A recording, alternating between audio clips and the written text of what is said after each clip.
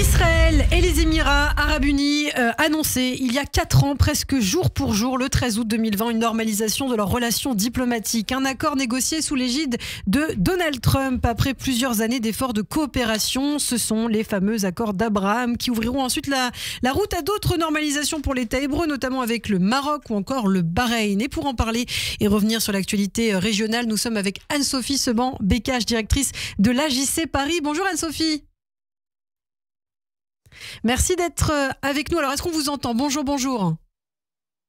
Vous m'entendez? On vous entend très bien. Merci Anne-Sophie d'être avec nous ce matin euh, sur Radio J. Vous avez célébré justement euh, sur vos réseaux sociaux à l'AJC cette, cette semaine cette normalisation. Alors, on a envie de vous poser la question qu'est-ce qui a changé finalement en quatre ans? Qu'est-ce que cette normalisation a apporté à Israël? Cette normalisation, elle a été euh, extraordinaire pour Israël et pour la région. C'est euh, des avancées euh, sur le plan diplomatique, évidemment, sur le plan économique, sur le plan culturel. Euh, sur le plan diplomatique, ben, c'est quand même Israël qui, euh, pour la première fois depuis les accords euh, de paix avec l'Égypte et la Jordanie, normalise ses relations avec des pays arabes sunnites, donc les Émirats, mais aussi le Bahreïn, le Maroc, le Soudan dans la foulée. c'est sur le plan économique, je crois, cette année, plus de 4 milliards de dollars de commerce qui ont été générés par euh, par, euh, par ces accords. C'est euh, la perspective avec les chiffres depuis quatre ans de la création de, de 4 millions d'emplois euh, liées à ces nouvelles activités économiques entre Israël et la région.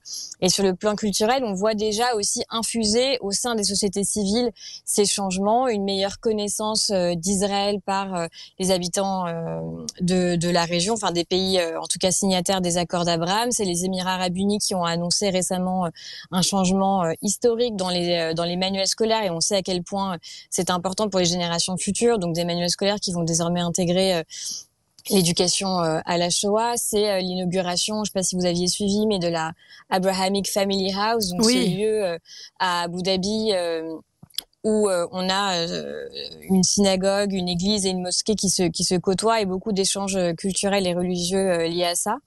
Donc c'est vraiment des avancées qui ont été très rapides.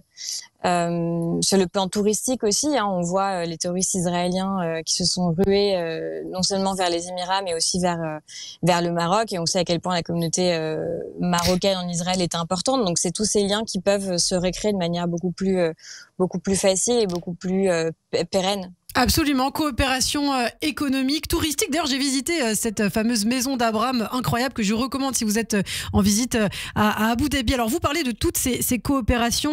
alors, c'est vrai, si les opérations de Tzal au Liban et à Gaza depuis l'attaque du Hamas le 7 octobre ont aussi suscité des, déclarations assez hostiles de la part de différents gouvernements arabes, dont les Émirats, signataires donc des accords Abraham, dans les faits, on sait que les Émirats soutiennent Israël dans sa lutte contre le terrorisme, notamment venant euh, de l'Iran, tout comme d'ailleurs la Jordanie et euh, le Maroc. L'Arabie saoudite aussi, même s'il n'y a pas encore de normalisation avec Israël, euh, pourrait se ranger du côté d'Israël. Il y a une vraie coordination militaire aussi, Anne-Sophie, et ça c'est important, entre Israël et tous ces pays arabes du Golfe.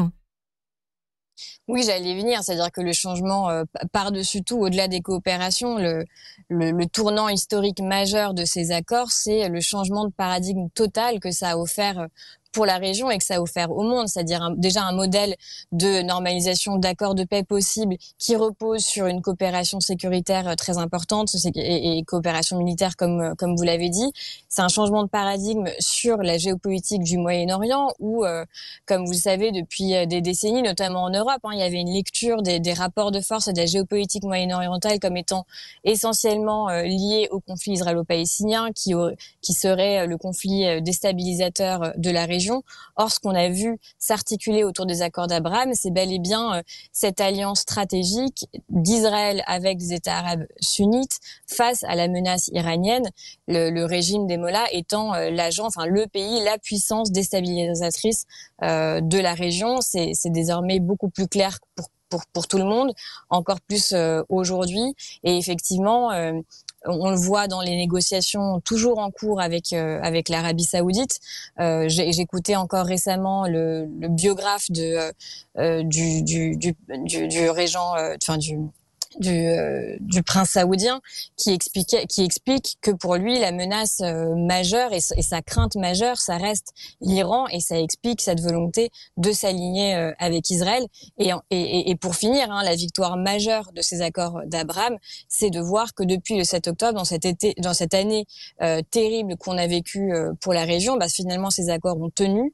Là où de nombreux observateurs à l'époque nous disaient parce que ces accords ont été signés sous la houlette euh, de Donald Trump, euh, qu'il s'agissait d'accords euh, simplement transactionnels qui ne tiendraient pas, justement, qui qui se, défraient sous le coup du conflit israélo-palestinien, par exemple. Or, ce n'est pas le cas.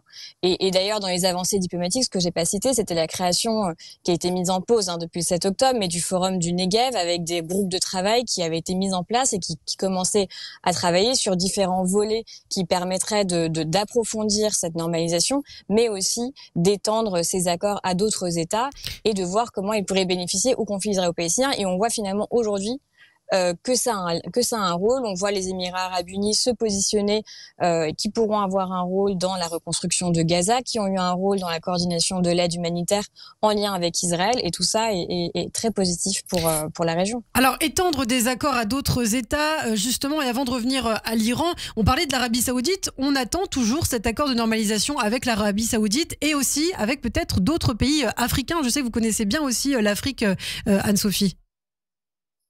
Euh, oui, tout à fait, parce que euh, Israël, depuis euh, des décennies, a des relations diplomatiques assez assez stables avec de nombreux pays africains. Et ce qu'on voit comme opportunité liée aux, accords d'Abraham, c'est que toutes les coopérations économiques générées par, par ces nouvelles relations pourront bénéficier aussi le continent africain, où on sait que les pays du Golfe sont très présents où un pays comme le Maroc est également extrêmement présent, puisque la diplomatie marocaine, le Maroc se veut depuis des années euh, comme étant la porte ouverte finalement euh, sur l'Afrique subsaharienne, jouant un rôle notamment tout le système bancaire en Afrique subsaharienne euh, est, quasiment, enfin pas contrôlé, mais en tout cas le Maroc, le système de banque marocaine a le monopole et, et, ça peut avoir des effets très positifs dans le cadre d'accords trilatéraux pays du Golfe, pays nord-africains, Israël et pays pays d'Afrique subsaharienne qui ont des gros besoins d'investissement, de nouvelles technologies, ce qu'Israël peut offrir et les pays du Golfe ont beaucoup de, de liquidités euh, pour, pour investir aussi euh, en Afrique. Alors pour revenir à l'Iran, suite à l'élimination euh, du chef politique du Hamas, Ismaël Khanieh, l'Iran a promis, alors on l'attend depuis 15 jours maintenant, de répliquer, d'attaquer Israël. Finalement, pas d'attaque, non plus pour le jour de Tisha B'Av avant-hier, on, on, on l'attendait, on l'attend toujours. L'Iran continue en revanche de menacer, malgré les mises en garde des États-Unis, malgré les mises en garde des pays occidentaux. Comment vous analysez, vous, cette, cette prise euh, de temps de l'Iran? Est-ce que vous pensez que l'Iran va finir euh, par renoncer à attaquer Israël? Je crois que le temps, le délai qu'on a vu là, c'est euh, effectivement l'Iran qui mesure le risque qu'il prendrait à, attaquer Israël de nouveau.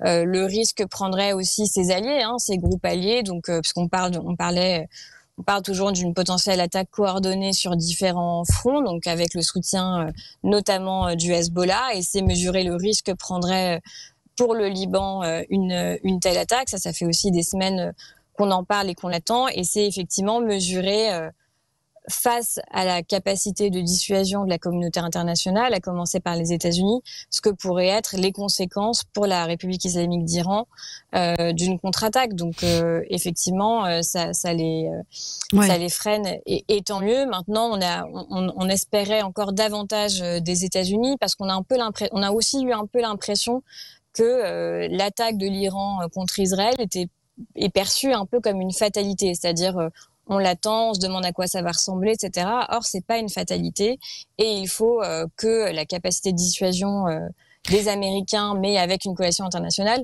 euh, se déploie avec avec force. Capacité de dissuasion, justement, vous parlez des États-Unis et c'est vrai qu'on a vu que les États-Unis étaient très présents dans la région et depuis des mois, ils ont déployé encore, on l'a vu au début de la semaine, euh, des porte-avions euh, dans, dans, la région. Les États-Unis ont véritablement un rôle à jouer dans ce, conflit, peut-être dans cette guerre à venir, euh, Anne-Sophie? Mais oui, bien sûr. Et effectivement, le déploiement de porte-avions un peu partout joue, fortement et, a certainement très fortement joué dans l'attente des Iraniens. On l'a vu il y a quelques mois aussi, les États-Unis avaient, fait de même côté libanais pour dissuader le Hezbollah d'attaquer plus, sévèrement Israël.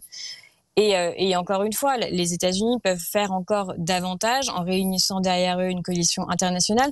La réalité, c'est que dans les faits, cette coalition, elle existe, puisqu'elle a existé le 13 avril au moment où l'Iran a attaqué Israël, une, coalition internationale et aussi régionale avec les États voisins qui euh, n'ont pas permis euh, euh, de, de, laisser entrer dans, leur, dans leur espace aérien des missiles iraniens. Certains États ont déjà déclaré que dans la perspective d'une nouvelle attaque, ils ne laisseraient pas faire.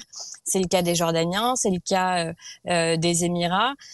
Et, et, encore une fois, vous savez, on parle beaucoup d'escalade ces dernières semaines. Moi, ça me fait beaucoup rire quand les uns et les autres appellent à la désescalade.